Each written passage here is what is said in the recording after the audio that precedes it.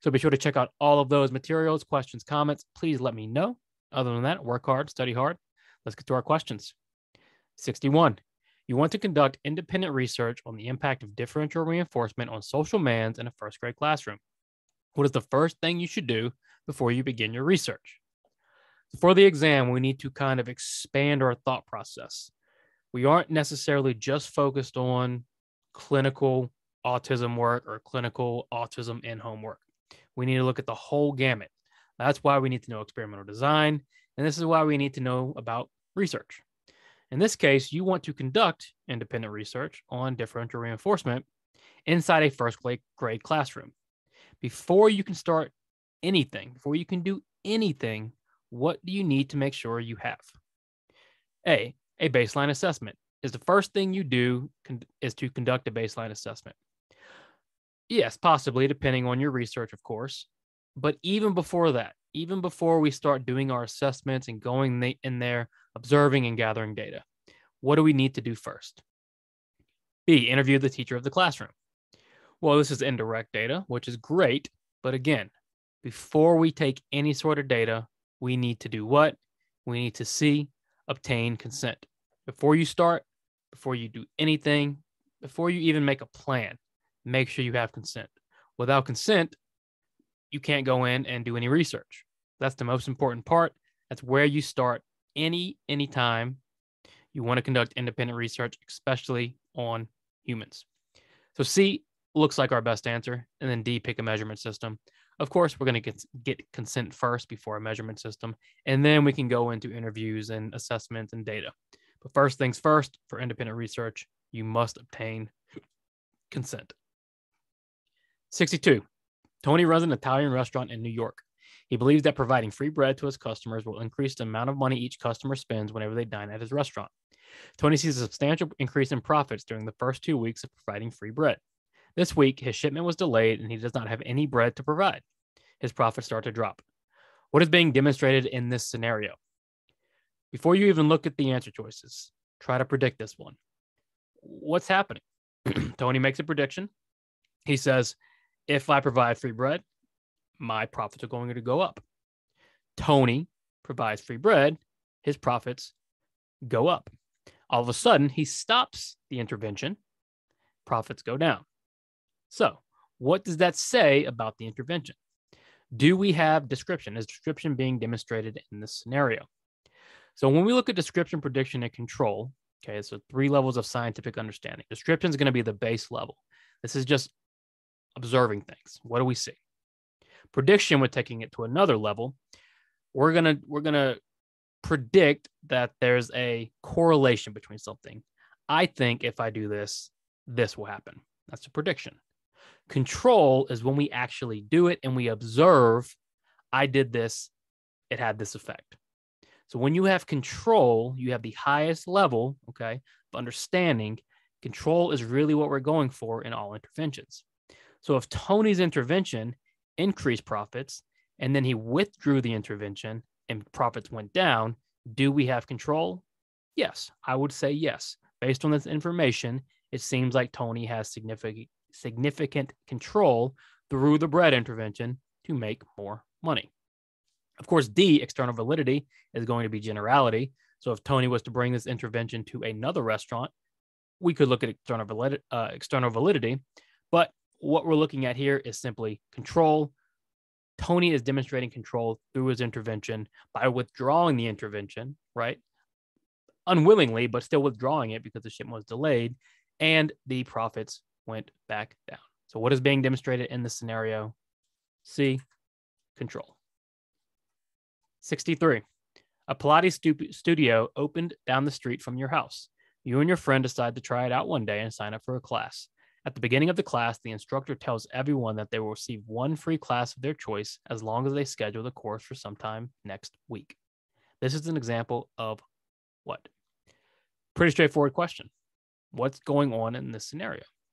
Well, the instructor tells you you get one class if you schedule a course for sometime next week.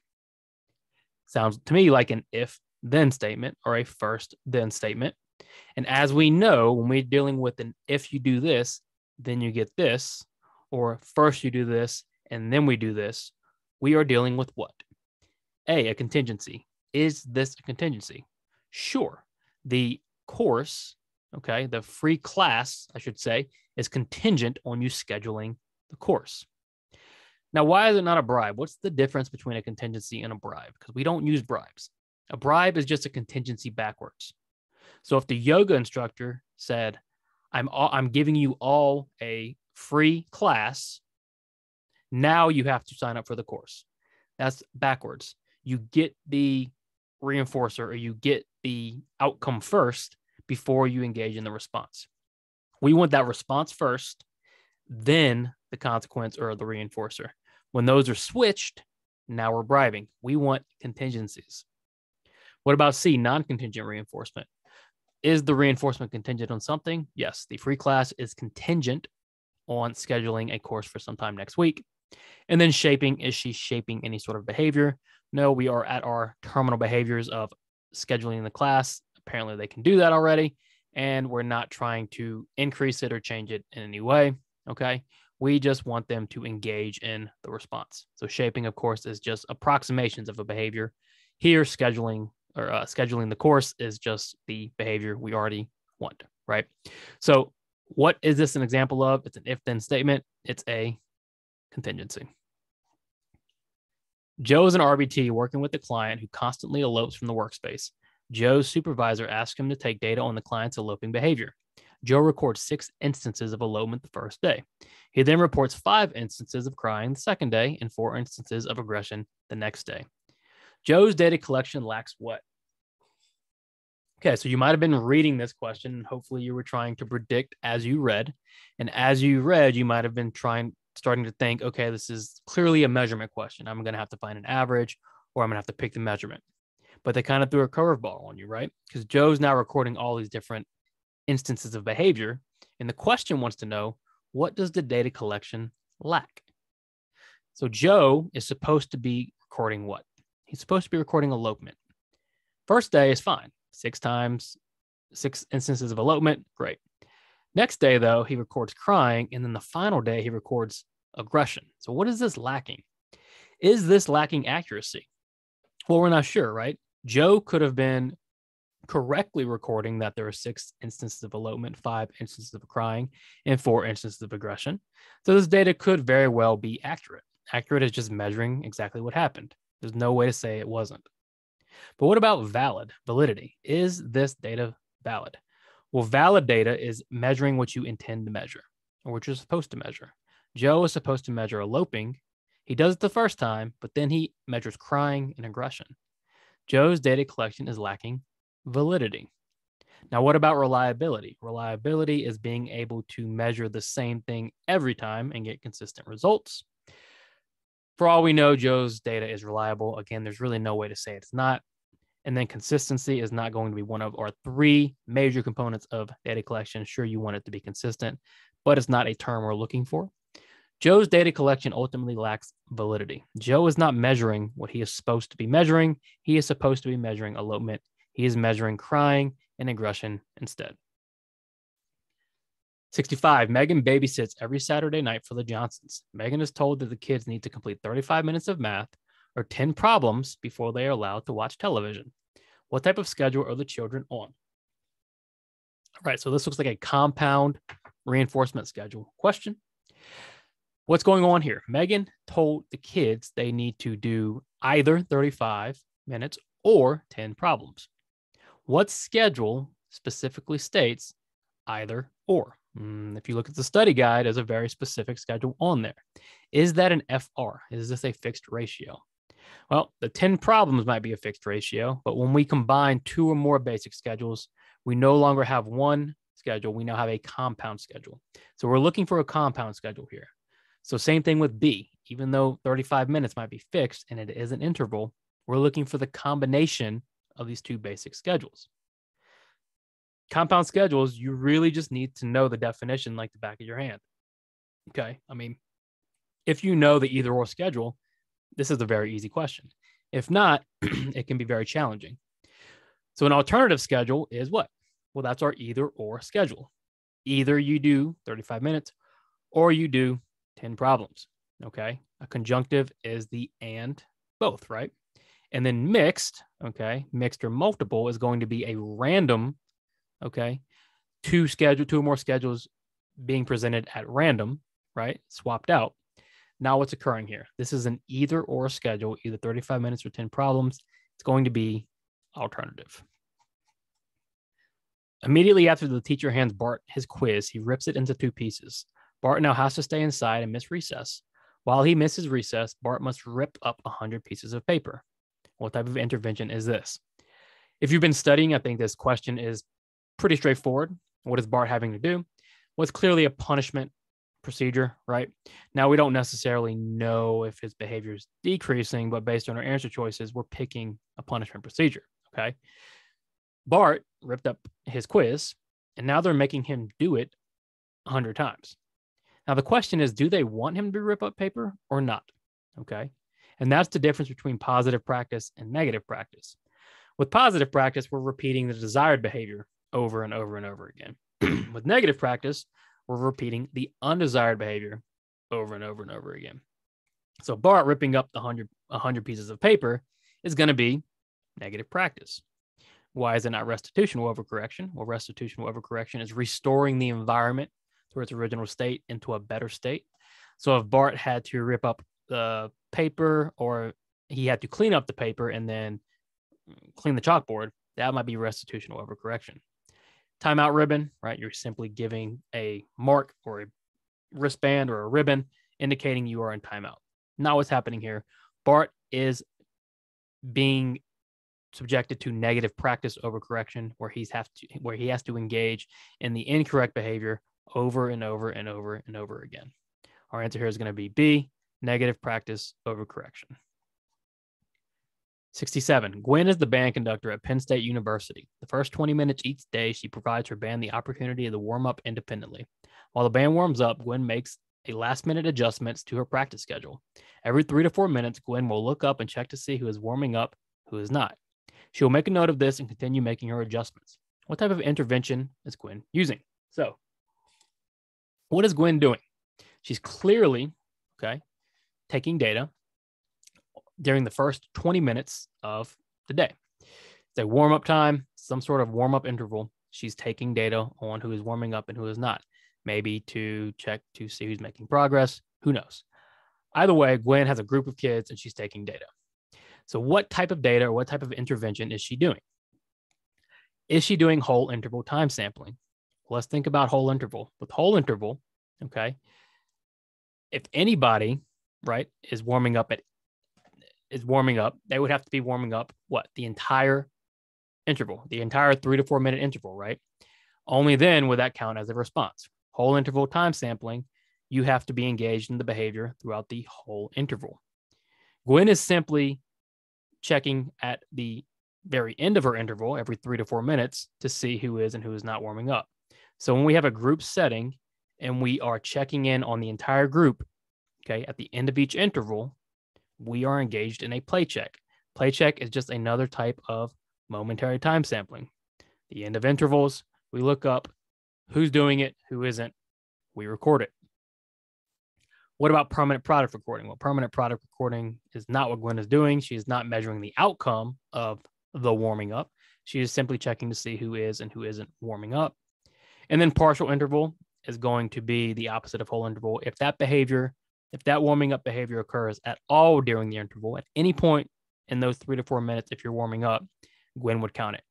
But that's not what she's doing. She's going about her day, going about doing her things. And then every three to four minutes, she'll look up to make sure they're engaged. So, what type of intervention or what type of measurement is Gwen using? B, PLACHECK. Whenever you and your friends go to Big Ed's House of Fish for dinner, you always order the fried catfish. It is your favorite meal from there. However, you must have hot sauce in order to fully enjoy your fried catfish. This is an example of what type of motivation, motivating operation. Motivating operations. The basic ones are hard enough. And when we get to these complex CMOs, complex motivating operations, condition motivating operations, I should say, it just becomes much more difficult. My recommendation is learn this stuff last. Make sure you know everything as good as you can and then come to CMOs. They can be just very tricky And on top of that, we don't talk about them a lot in practice. They're difficult to think about and conceptualize. However, we do want to cover them. So let's go through them. Reflexive CMO. This one's the easiest. Reflexive CMOs typically signal that a situation is changing, typically that a situation is getting worse. Transitive C, uh, CMO is you one stimuli um, signals the, the, need for another stimuli. So in this case, right, uh, when you order your meal, now you must have the hot sauce. That's transitive. Surrogate CMO, one CMO takes on the properties of another CMO, and then a, tra- a traditional CMO doesn't exist. That would just be a regular motivating operation. In this case, is the situation getting worse? No, right? You're just ordering a meal, and when you order that your favorite meal, now your the the value of hot sauce increases. So transitively, right, that meal motivates you to get the hot sauce. So this is an example of a transitive CMO. If the meal took on the properties of the hot sauce, or the hot sauce took on the properties of the meal, okay, that would be a surrogate. This is transitive. The meal, okay, signals the need for the hot sauce. This is B, transitive CMO. 69. Use the table below. You master a skill acquisition program after trial number two based on the following data. What type of measurement did you most likely use? So let's look at this. Here's our key. Plus is correct, minus is incorrect. Our criterion is two correct responses. That should be a dead giveaway. Trial one, we have a plus, correct. Trial two, we have a plus, correct. Our question said you mastered this program after trial number two. What type of measurement did you use? Did you use duration? Well, there's no indication we had any sort of duration data in here. You can't pick duration. There's no, there's nothing indicating duration was used. Same with rate. Okay. We don't have any frequency. We're not sure if we used rate. What about trials to criterion? In trials to criterion, we are trying to determine how long it takes a client to reach mastery, basically. So if it took, if our trials to criterion was say four, okay, and we we we needed to, um, we need them to engage in this behavior four times in a row. Well, we wouldn't have mastered this until number 10. Okay. Because you can see seven, eight, nine, ten. we finally get four in a row. If our criterion is just two correct responses in a row, well, then they mastered it the first two trials and we can move on. So trials to criterion, if you set a criterion, okay, that's your mastery criteria. And then once they hit it, we can master the skill. Percent of occurrence is simply saying it happened this many times, given this many opportunities. Okay. Not what we're looking at here, right? We have a criterion. It took them two to reach it. This is trials to criterion. And then 70, which of the following answer choices answer choices represents an echoic? So what do you know? What do we know about echoics as far as verbal operands go? We know echoics are evoked by a verbal SD. They have point-to-point correspondence, and they have formal similarity. So let's use that to find our answer choice. A. Ralph picks up the menu, sees a picture of a turkey sandwich, and says out loud, "Turkey sandwich." Was this evoked by a verbal SD? No, it was evoked by a picture. It cannot be an echoic. Now we all know what echoics are on a basic level. I'm going through this exercise of going through our technical aspects of echoics because when you get harder questions than this one about verbal operants, you need to know those things. So, B, Timothy is picked in class to read aloud. He reads a full chapter of Where the Red Fern Grows. What is reading? Reading is textual. Okay. Was this evoked by a verbal operant? Again, no, we can eliminate B. C, Wendy says, repeat after me. I like to walk in the park. Her son says, Me too. Was this evoked by a verbal SD? It was. Did it have formal similarity? It did. Did it have point to point correspondence? No, it's two different phrases. I like to walk in the park versus me too. Can't pick it. At leaves with D. Gloria asks her friends what they want on their pizza. Jesse turns to Amy and says, I want pepperoni. In response, Amy says, I want pepperoni. Evoked by our verbal SD? Yes. Formal similarity? Yes. Point to point correspondence? Yes, identical phrases. I want pizza. I want pepperoni. I want pepperoni. Our answer here is going to be D. This is the best example of an echoic.